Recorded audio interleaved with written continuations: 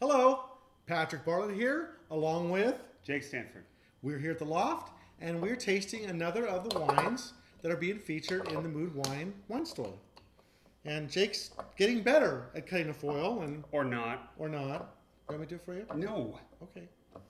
You know what Jake used to? do? He used to take the whole foil and just like pull it off like that, which I yelled at him for. So there he goes. But now he can't do that. So here we're gonna have this whole right, tasting, You fix it. This whole tasting with wine that is Sorry. tricked out. So here we go. We're gonna get this open quickly because we have to taste this wine. So what we're tasting today is the Fazeli. What year is it again? I always forget what year. 2008 Phel Phel.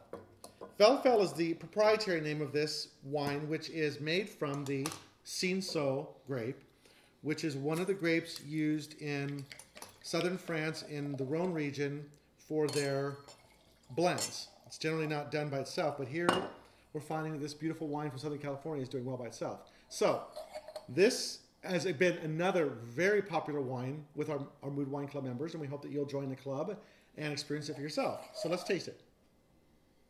And again, we know this wine, but this is fun because we want to share it with you. So, there's some, this nose just bursts. And what does it burst with? Blueberry. Blueberry. And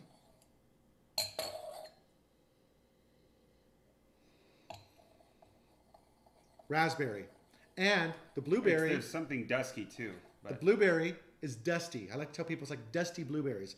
And also, I notice a little bit of graphite yeah. in the nose. Yeah, which is the earthiness that often comes from the Rhone style wines. So let's taste it.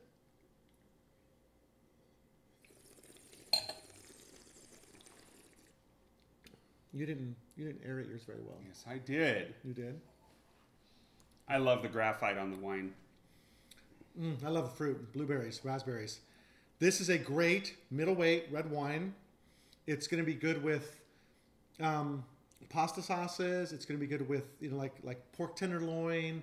It'll be great with lamb. It'll be great with things that aren't aren't terribly overspiced or too super heavy. But like a good burger, oh my god, what a bur- burger wine! Mm-hmm. Yeah.